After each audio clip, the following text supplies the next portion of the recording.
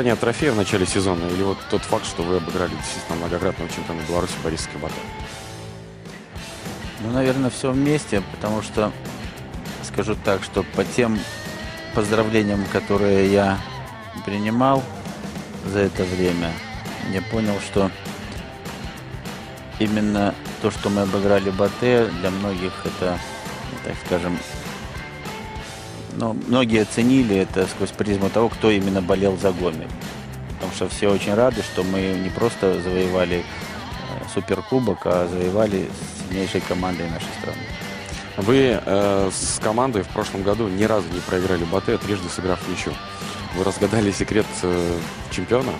Можете его рассказать? Или можно так вообще утверждать? Ну, наверное, просто, может, это стечение обстоятельств, так матчи складывались. Ведь, может быть, какой-то матч мы могли проиграть, а в каком-то могли и выиграть. Там один матч был чисто ничейный.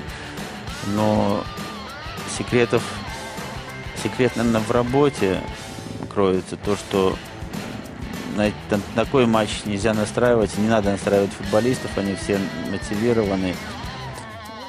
Здесь просто должно еще сложиться много обстоятельств. То есть как будет играть соперник и много нюансов, которые могут мешаться в игру, на, на, результате.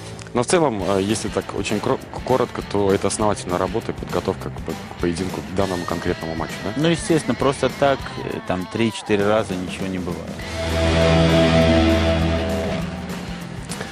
Прошлом году Гомель выиграл Кубок Беларуси. Э, Сейчас Суперкубок Беларуси. Если вспомнить последнюю игру в конце сезона, когда вы обыграли Минский Динамо, это по большому счету тоже как кубковый матч, когда завоевали бронзовые медали. И это говорит только об одном, что у Гомеля есть э, характер э, у всех ваших подопечных, э, такой стержень, который готовы играть на результат. Откуда он мог взяться, когда команда вот только вот строится буквально вот сейчас? Можете сказать? Ну, секретов, наверное, больших нет, но скажу, что для того, чтобы команда была мотивирована, надо эту мотивацию найти. То есть футболисты, которые к нам приходят, допустим, как Глеб, футболист, который, так скажем, в прошлом году был недооценен, у него были какие-то проблемы.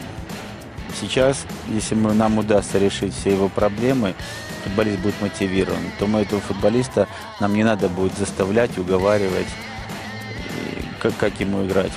В принципе, большинство у нас футболистов, которые, так скажем, обладают определенным уровнем, но они соскучились, они голодны. То есть прошлый год неудачно для ФК Минска сложился. То есть ребята умеют играть в футбол, ребята поняли, что просто так ничего не бывает. И так можно идти к каждому. Поэтому если команда будет голодная, то она будет чего-то добиваться. Если, конечно, нам удастся им помочь организовать работу правильно. За недолгое время вы успели стать для многих болельщиков Гомеля своеобразным символом возрождения надежды на успешное будущее клуба. А для вас эта команда является чем-то большим, чем просто место работы уже? Наверное, стоит добавить. Ну, вы знаете, я до этого три года отработал торпедо и работал, так скажем, серьезно. И тренерский штаб был серьезный. Приходя в Гомель, меня тоже спрашивали изначально, на какой срок подписывать контракт и так далее. Я сам настоял на, на длительном контракте. И так как профессиональный тренер, себя считаю профессионалом, то первое, что хочется отработать его профессионально. А то, что любая команда это частичка и свою душу оставляешь, и, так скажем, и здоровье, и знания. Поэтому, естественно, команда становится родной. И думать сейчас о том, что что будет потом, даже не хочется, потому что тогда ну, невозможно будет работать.